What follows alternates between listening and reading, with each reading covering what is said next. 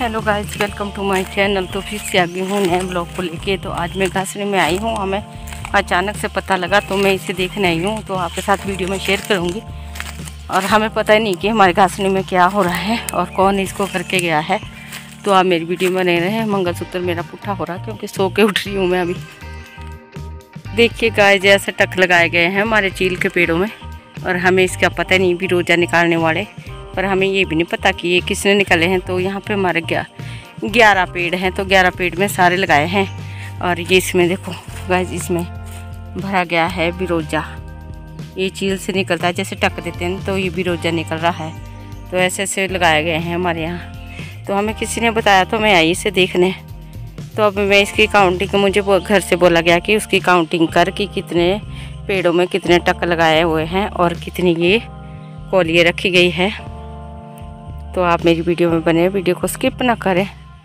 और आप भी अपने एरिए का ध्यान रखें, क्योंकि हमें पता नहीं था तो दूसरे के कहने पे आई हूँ मैं। और हमारे घर से ज़्यादा दूर नहीं है, थोड़ा नज़दीक है, ये सारा हमारा एरिया है।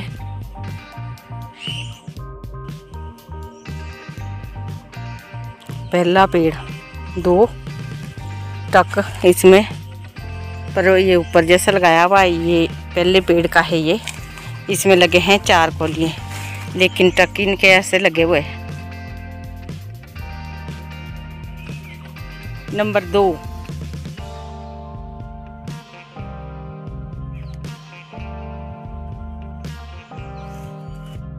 नंबर तीन।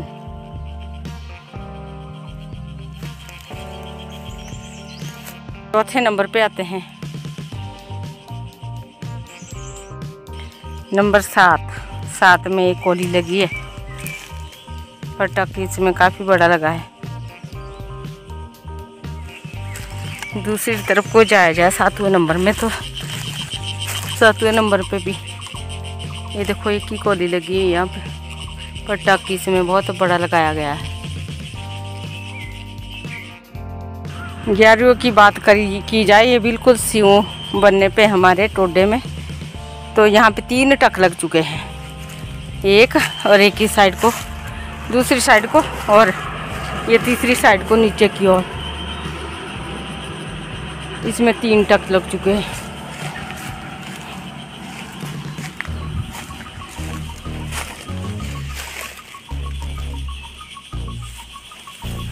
ग्यारहवें में तीन टक लग चुके हैं और तीन इसमें कौलिए लगी है।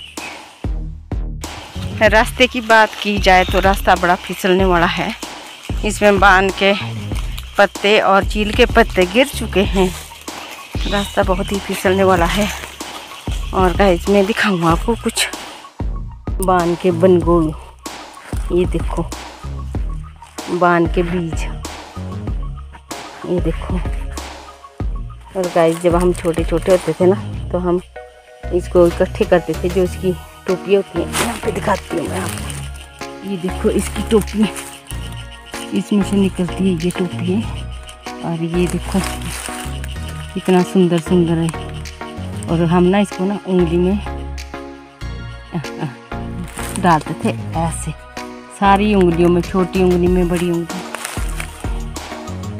ऐसे ऐसे डाल के घूमे रहते थे। सारी उंगलियों में डालते रहते थे। ऐसे ऐसे खेल खिलौने होते थे हमारे बचपन के, जो कि आजकल के बच्चे इस तरह के खेल जानते भी नहीं है। सारे हमने इकट्ठे करते रहना और सारी उंगलियों में ऐसे ऐसे यहाँ पे सारे लगाते रहना।